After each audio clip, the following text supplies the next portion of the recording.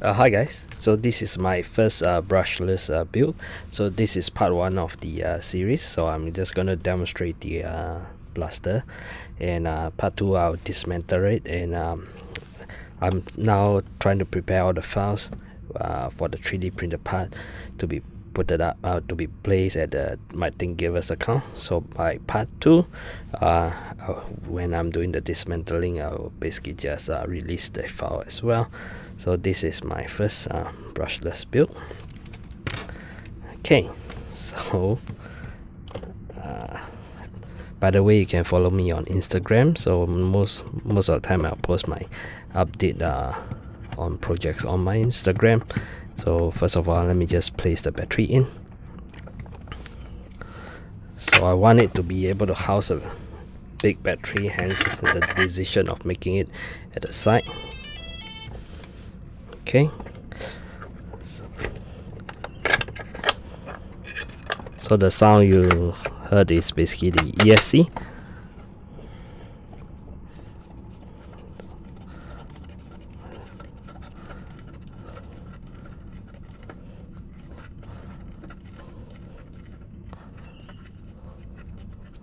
alright so now we have uh, placed the battery in. So uh, there is a on off switch at the side. So to on the system you have to switch it on.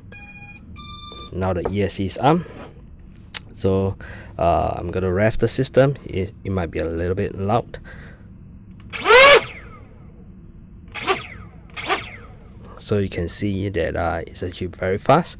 The response time. Right yeah.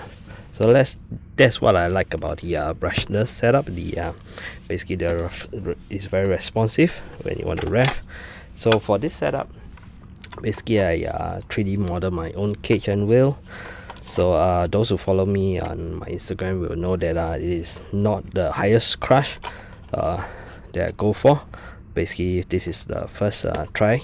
So um, I'm going to be conservative and now uh, do something that's not so uh, high crush. So from my testing uh, basically I test with wafer dart uh, main gun darts and of course the uh, the Accufake. So I realized the Accufake is the best so far. So you can see now.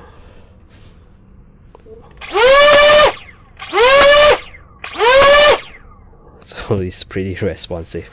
Yeah so some of the parts I make is basically just the motor cover so that it promotes some airflow.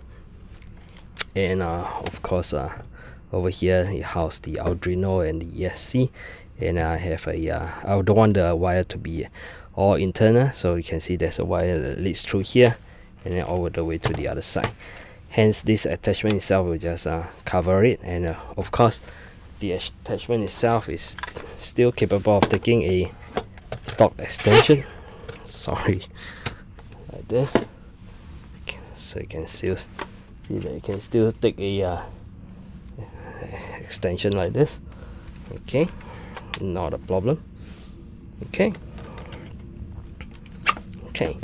So this is the uh, demonstration uh, of the uh, brushless uh, setup that I have okay so uh, for the part two i'm going to do the dismantling. So uh, and i'm going to prepare all the files like for the this cover over here this piece over here.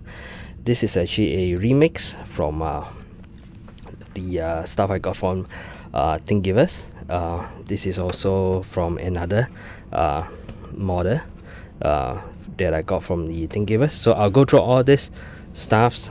Some are something that I model. So you can see that this is actually at an angle. Not sure sure you can see it's actually tilted at the angle because okay when I when we aim we want to slightly tilt the blaster a little bit at an angle so that you know, it's a projectile kind of thing. I find that yeah, it's actually more accurate in that sense when I'm aiming for a long distance kind of a, a target. Yeah so I'm also thinking for the um, part two I wanted to do a live stream. Well, then uh, I'll dismantle and uh, go people from the chat can actually ask me some question. Then part three I'll basically probably go to let me see. Part three is probably the um, circuit uh, how to wire it up. And then uh, all the, the the stuff you know all the connection and all. And then part 4 will be probably the uh, programming involved so this is a very simple programming whereby you only take care of the revving. Right. So yeah. So i'm tungsten thanks for watching. And uh, if you have not subscribed do subscribe to support the channel. Thank you